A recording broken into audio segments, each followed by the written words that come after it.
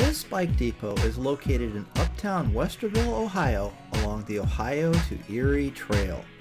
It was dedicated in 2012 and has water, restrooms, a rest area, map, shelter, fireplace, playground, and the Presidential Oak Grove.